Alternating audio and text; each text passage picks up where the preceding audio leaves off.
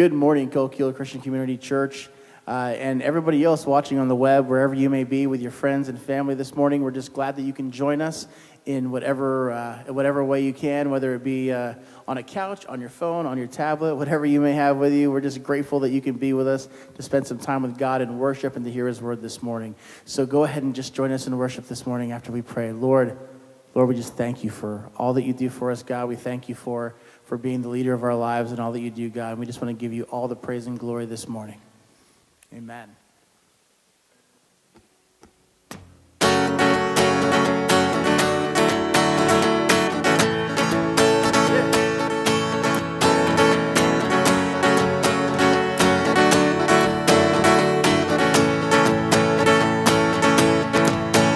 There's a rose in the desert, blooming red in the drought. There's a quenching rain in the wings of the gathering clouds. Oh, lift your eyes and look to the horizon now. Oh, the stillness over us, reach up from the dust and call it down.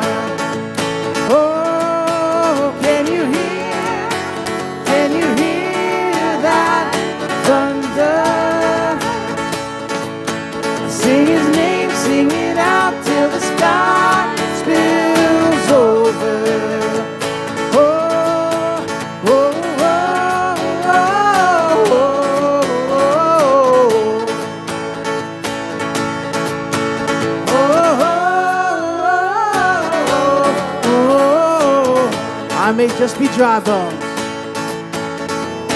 I may just be dry bones, stripped of sinew and skin. But the wind of his spirit will raise me up again. I lift my eyes, I lift my eyes, I look to the horizon now.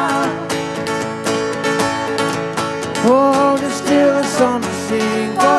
on your knees and cry aloud. Oh, I can hear, I can hear that thunder. I'll sing your name, sing it out till the sky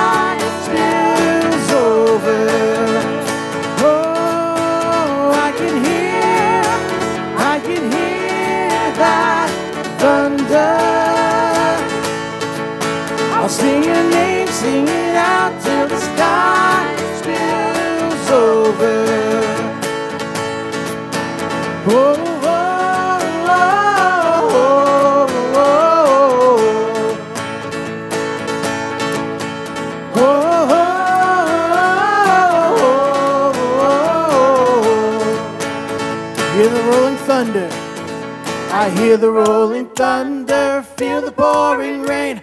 My heart is filled with wonder, only you remain. I see the new horizon coming my way. I lift my eyes, I look to the horizon now.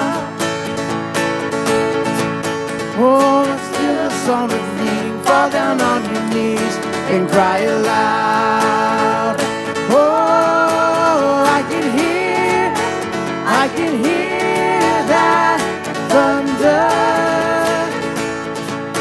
I'll sing his name, sing it out till the sky spills over.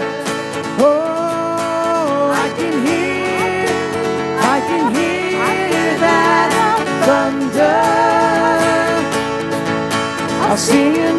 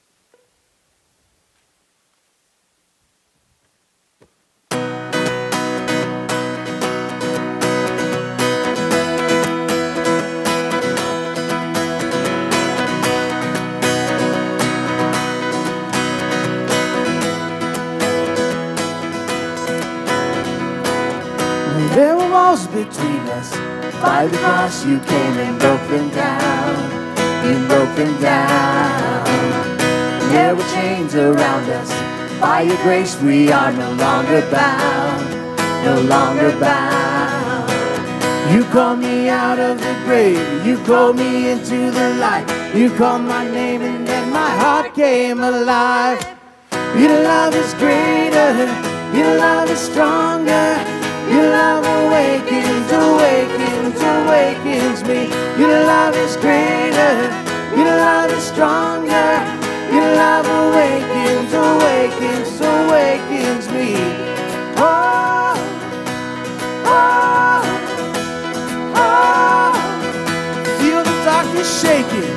Feel the darkness shaking. All the dead are coming back to life. I'm back to life. I hear the song awaken. All creation singing, we're alive. Cause you're alive. You call me out of the grave. You call me into the light. You called my name and then my heart came alive. Your love is greater. Your love is stronger. Your love awakens, awakens, awakens me. Your love is greater. Your love is stronger. Your love awakens, awakens, awakens me.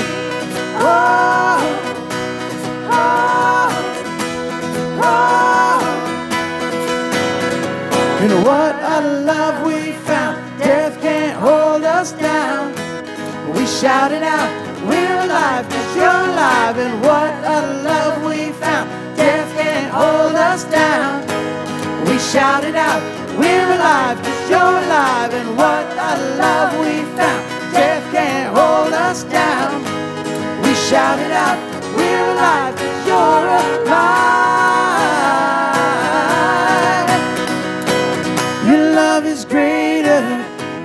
Love is stronger.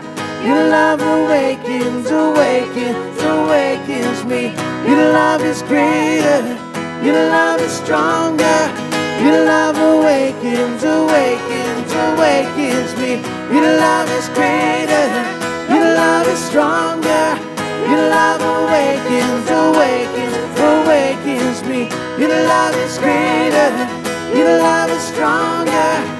Your love awakens, awakens, awakens me. Oh, oh, oh, Lord, your love awakens me. Oh, oh, oh, Lord, your love awakens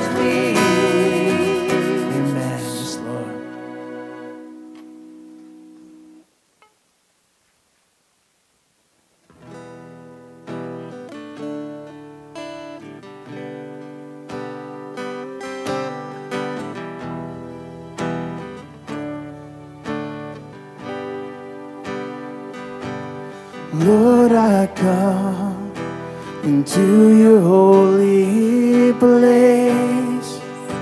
I stand in awe of your cleansing grace. Who am I that you would care for me? I glorify the one who died for me. Glorify.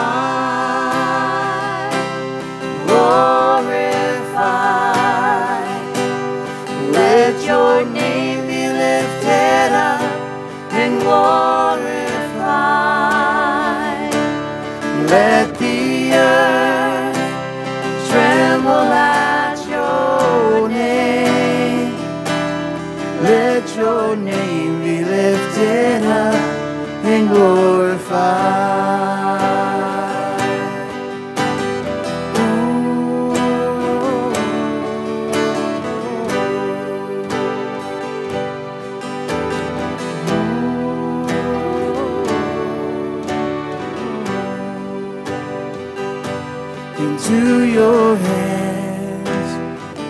I commit my life day by day as a living sacrifice. Oh, who am I that you would care for me? Lord, I glorify the one who died for me.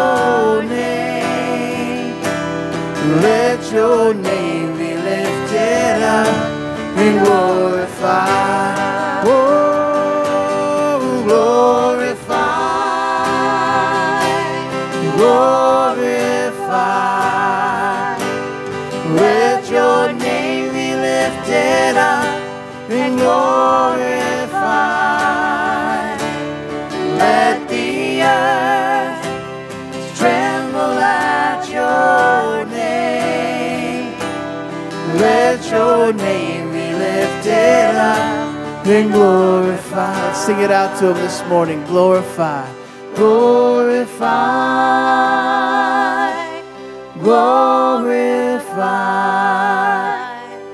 Let your name be lifted up and glorified.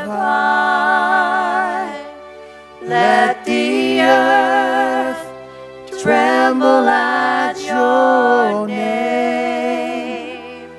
Let your name be lifted up and glorified. Lord, Lord. Let your name be lifted up and glorified. Amen. Lord, Lord, we love you. Lord, we just want to give you so much praise, so much love, and so much glory, and every light to just shine on you and illuminate you for those who just can't see you in whatever darkness may be around, God, that your light shine through and that you just get all the glory. In your name we pray, Lord. Amen.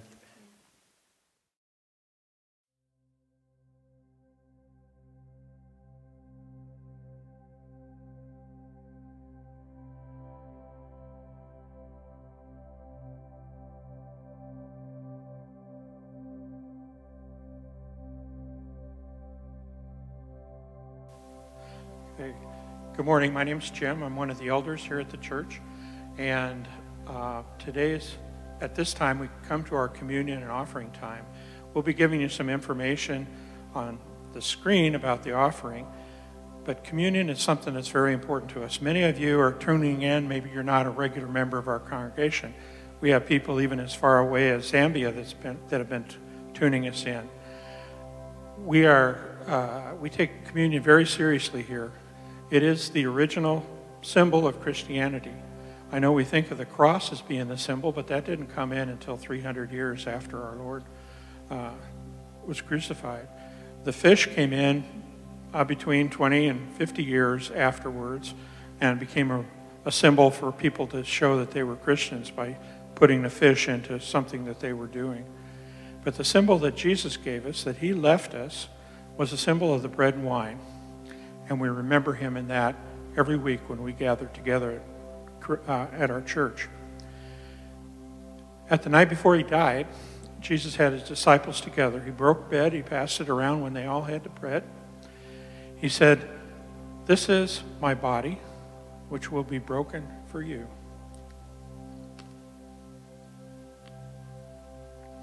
And then he passed the cup around. And he said, This is a symbol of my blood, which will be shed for you.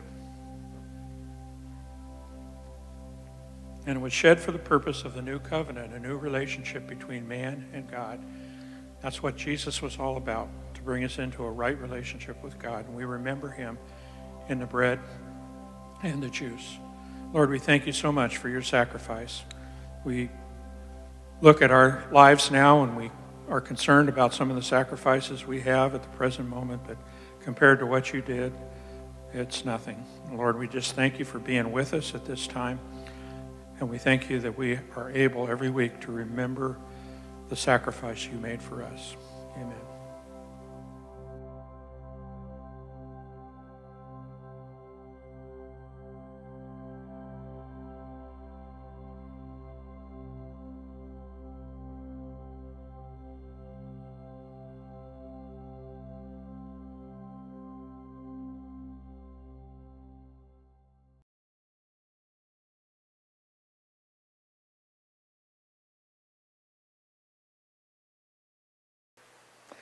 Good to have you with us this Sunday.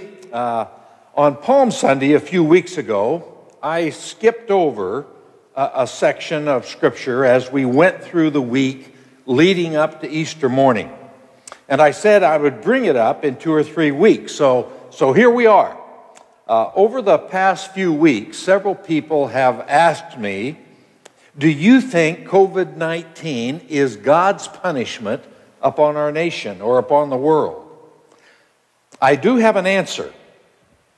Uh, it is uh, one my wife and I have now used quite often. It actually comes from a TV commercial.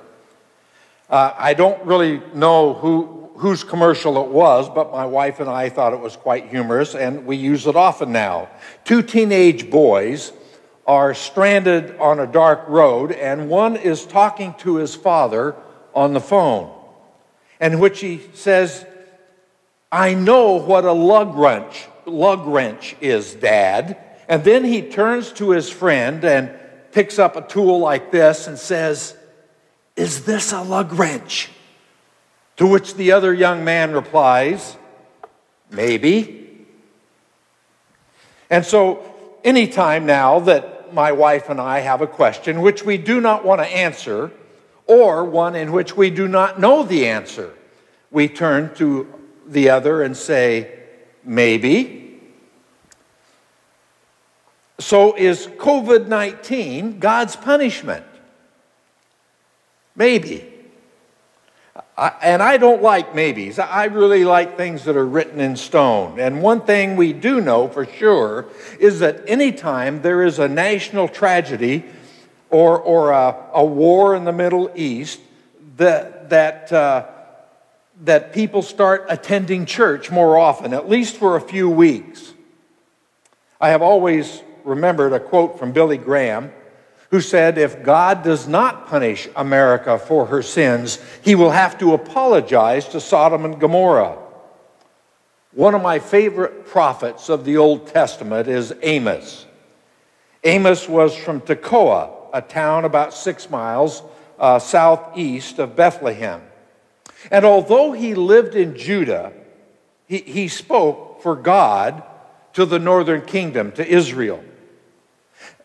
But what I really like uh, about Amos is his method of uh, preaching. He, uh, what he does in the opening chapters of his book. He, he starts by naming the sins of the countries or, or the, the states and cities around Israel. For example, he, he names their sin and, and then gives a short uh, co- comment about what their punishment will be. And, and, so he starts with Damascus and Philistia, uh, with Tyre and Edom and Moab and Judah. And he gives a short description of their sins of each nation and the punishment they will receive. And what Amos is doing really is he's setting up the people of Israel. I mean, for example, imagine if we had a prophet in the United States that, that spoke for God, and in this day he went on national television and said, God is going to punish Russia for their meddling in our elections, or, or God is going to punish Iran for its deception and its cruelty, or God will punish China for, for, for its lack of concern for other nations by releasing COVID 19 beyond its borders. I, I, imagine if that was to happen, there would be a number of, of people who would be cheering that God is finally intervening in our situation. But it's at that point that Amos lets the other shoe drop. And he starts to list in detail the sins of Israel. Because, he says, Israel, of all nations, should have known better.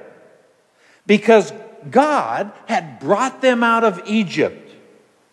God says to them, You only have I known of all the families of the earth. You have had my law and my prophets. In other words, Israel should have known better. And God reveals that He is going to punish Israel for very specific sins that He has recorded. So, with that introduction, let's consider the conversation between Jesus and his disciples about the end of the world and other minor problems. If you look at the text, I'd like to read uh, from Matthew chapter 24, starting at verses 1 through 14.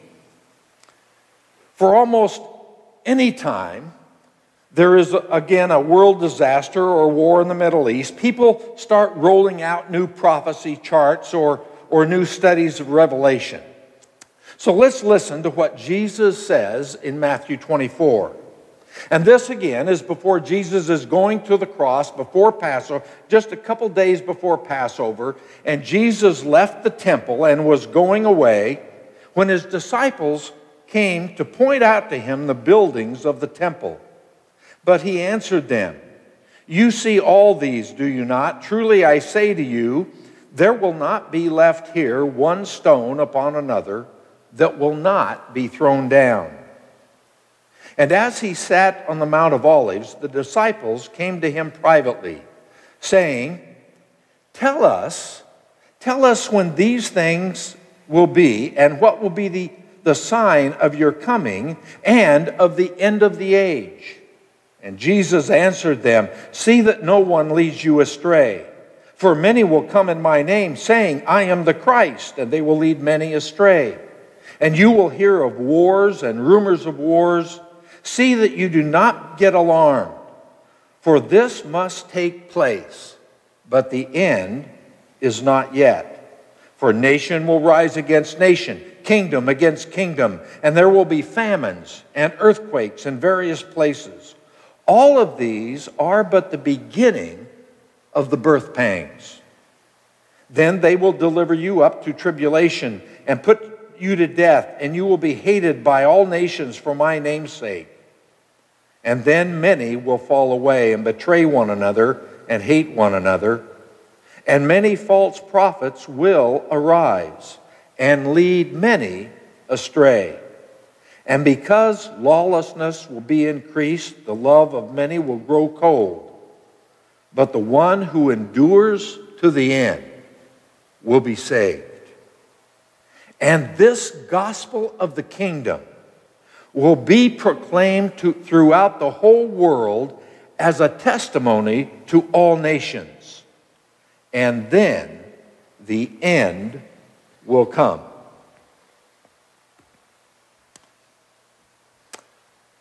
By the way, uh, I have a, a new speculative date for the end of the world. Uh, I, I mean, for example, Scripture tells us that with the Lord, a day is as a thousand years, and a thousand years is as a day. And also, there are just numerous third day stories all through Scripture. I mean, when Joshua marched around Jericho before the battle progressed and the, the walls fell down, they were to march around for three days. When, when Jonah was in the belly of the great fish, dead, uh, it was three days that he, in fact, Jesus said, There will be no sign given to you except that as Noah was three days in the belly of the great fish, so the Son of Man will be three days in the earth. And of course, then the resurrection. So there's all of these third day stories. And so I simply decided that, that uh, since a day is as a thousand years, if we take three days, that's 3,000 years, and we do it from Easter morning, that means that uh, the end of the age might be in the year 3033, which means we have about 1,013 years to go. And which means you and I really don't have to worry about it. Jesus informs us that no one knows the day or the hour. And most likely, we will all be with the Lord or somewhere else when this world comes to an end.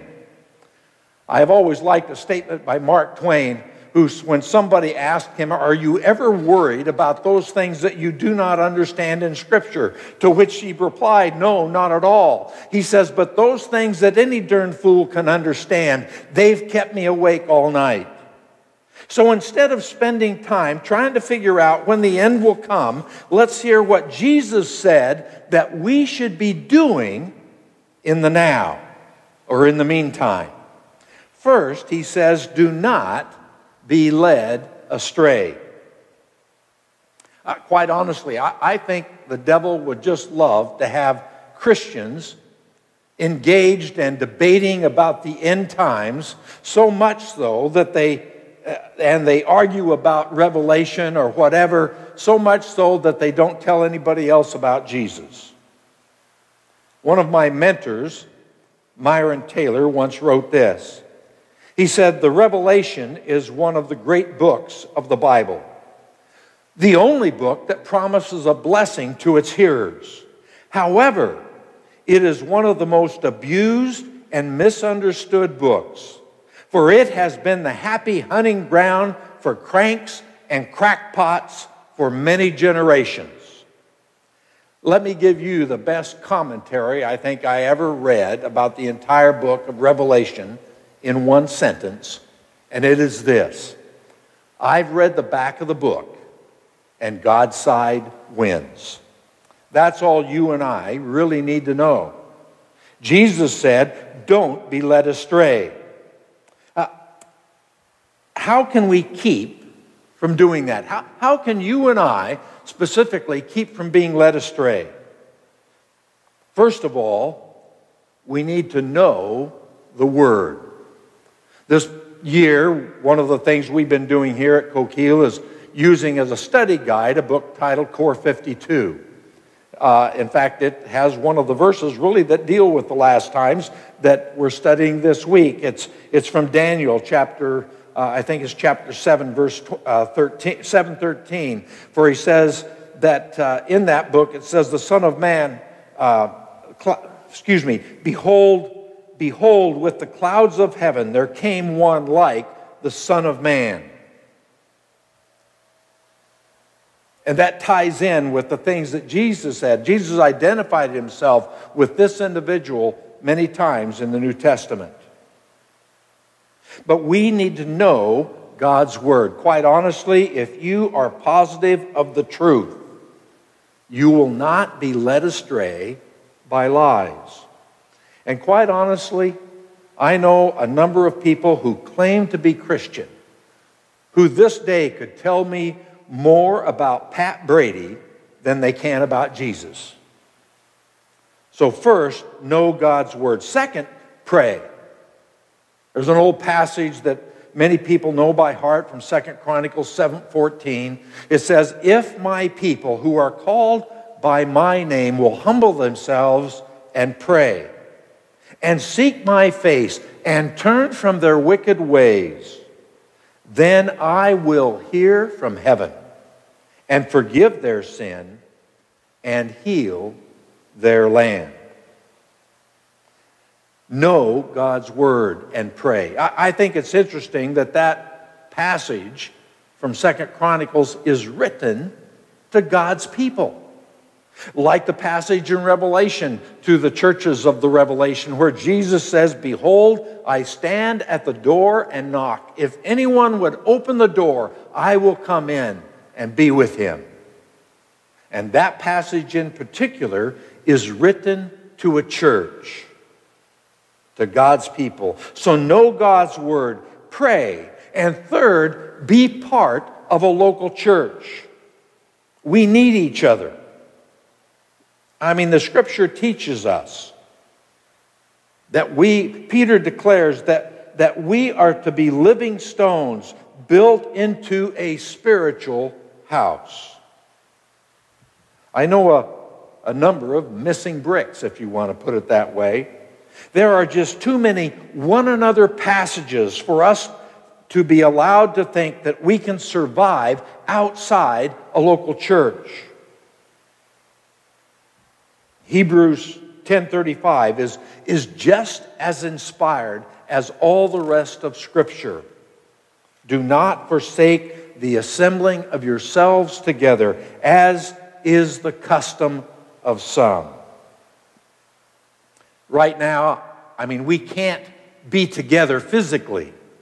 But we can in the Spirit, and we can by phone. We can call each other up and, and talk about the verse we're studying together as God's people here at Coquille or, or any other passage. We, we can encourage one another and build up one another through prayer and through phone calls. A number of ways we can encourage each other as we meet together. It, it, so if we know God's Word and we pray, and we meet together as God's people, we will not be led astray. In fact, quite honestly, I, uh, I, I think if you will bear with me on the term, I believe the Holy Catholic Church. Notice I did not say Roman Catholic. I just said the Holy Catholic Church, which which Catholic means universal. So the, the church universal around the world, I, I think Overall, the churches around the world keep the church on track in the truth of God's word. That is, sometimes the church may go astray a little bit, but there's always those reformers that bring the church back to God's truth. Martin Luther, Wesley, just all through history, there have been those who bring the church back to center. So that's the first thing that Jesus said we are to do. We are not to be led astray. But then in, in the rest of Matthew 24 and then into chapter 25, the, the section we skipped over on Palm Sunday, Jesus gives four illustrations what, that indicate what we should be doing, or that we should be doing two main things. The first one is that we should be watchful, or to say it another way, we should always be ready. In Matthew 43 and 44, he says, But know this. Now, I'm going to paraphrase this just a little bit, but you can go back and check the text. This is a pretty accurate paraphrase. He says, But know this if I had known what part of the night the thief was coming to steal my chainsaw, a farm boss, model 7 or model 271, serial number 507264284. If I had known when the thief was coming to steal my chainsaw, I would have watched and not let my garage being broken into. That's kind of what Jesus is saying here. And he says at the end of that, he says, Therefore, you must always be ready. In Matthew 24, 45 to 51, Jesus gives an illustration of a servant who doesn't do what is expected of him or what is required because his master has delayed in returning. And Jesus is saying that we are to be watchful and that we are to be faithful. Then in Matthew 25, he reemphasizes these same themes. The first is a parable of ten maidens who are waiting for a wedding to begin. And they take lamps to go meet the bridegroom. And five of them have had, had enough oil to be ready for the, for the journey. But five didn't bring enough oil. And they beg the others to give them their oil. And they say, No, if we give it to you, we won't have enough. And so the five that didn't have enough go off to buy some more. But while they're gone, the bridegroom comes. And those who were ready attended the wedding feast. And those who were not ready were shut out and could not enter. And again, the message from Jesus is that you and I should always be prepared for his return. And then the final illustration in Matthew 25, 14 to 30 is what we often refer to as the parable of the talents. A man went on a journey and entrusted his property to his servants. To one, he gave five talents, to another two, and to another one, and to, entrusted it to them to, to work with until he returned. And then in verse 19, it says this Now, after a long time, so far, it's been over 2,000 years. And if you want my calculation, even though it's said with a little tongue in cheek, we have another 1,013 years to go. After a long time, the master of these servants came to settle accounts. And to two, to those that had invested what he had given to them, and they returned to their master all that he had given, and then some more, he said to these two servants, Well done, thou good and faithful servant. Because you have been faithful over a little, you will be given much. But to one, to one, he said, You are a worthless servant. And he did nothing with what had been given to him. The illustrations of Jesus point to two things that we are to always be ready, and that we are always to be faithful to our calling. Let me re emphasize something else that Jesus made clear to his disciples at the beginning of what he was saying. He said, You should not be alarmed, don't be afraid. But he who endures to the end will be saved. Don't be alarmed or afraid. Remember that God still has the whole world in his hands, and our God is not frustrated. Hang in there. Don't give up. For the command all through the revelation at the end of the Bible is to be faithful unto death. And Jesus says, I will give to you the crown of life. There is a great verse tucked away in Galatians 6, verse 9, where Paul writes this Let us not become weary in doing good, for at the proper time we will reap a harvest if we do not give up. Sometimes, I think all of us, once in a while, come to that point when we we feel like giving up. I heard Wayne Smith tell a story about uh, the worst football game in history. Georgia Tech beat Cumberland College 222 to nothing. Now, that's a bad day on the gridiron. It was so bad that the quarterback of Cumber- Cumberland College fumbled the ball and it rolled over to the feet of his buddy on the team and he yelled at him, Pick up the ball. But Georgia Tech had been beating them up so bad, the guy yelled back to the quarterback, he says, You pick it up, you dropped it. Don't give up. Don't become weary in well doing, for at the proper time we will reap the harvest. A few years ago, I was given a beautiful picture of faithfulness. Kay and I, my wife, we were in a nursing home visiting with her mother, and next to me sat an elderly gentleman who was feeding his wife. And I chatted with him a little bit, discovered they'd been married for over 70 years. And he, as he fed her, I said, How long have you been doing this? And he said, I come here every night, have been for the last two years. He said, She doesn't remember me, but I remember her. And I said to him, Let me shake your hand. I admire a man who keeps his word to be faithful unto death. Let's pray. our God and Father, Lord, as we see all the events in our world taking place, some terrible things that happen. Not only the plagues of history and world wars, the coronavirus that's currently going around our world. Sometimes, Lord, we, we question, we wonder what's going to happen. But help us to realize that when we trust in you, all the issues that are important are settled.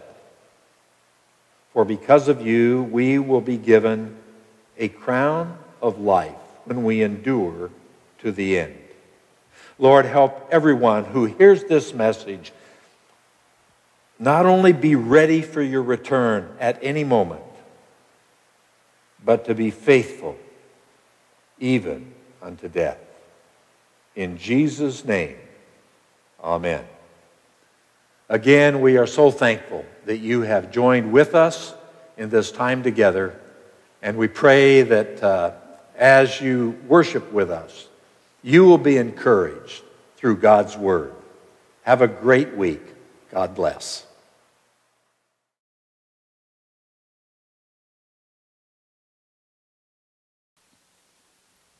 We thank you once again for joining us, and we can't wait to be with you again next week. And uh, we just want you to be safe out there. This is a great time to be with your families, to be with God, and to just uh, be in His presence and let that, let that be what carries us through higher than ever.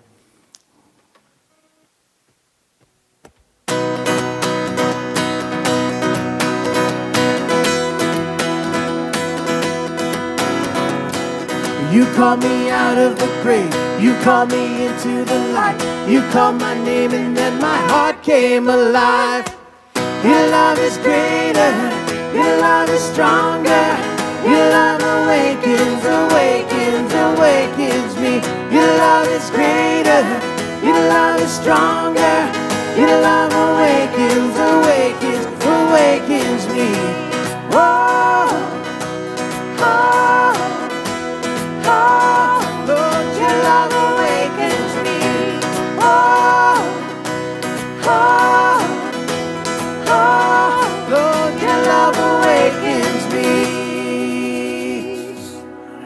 See you next time.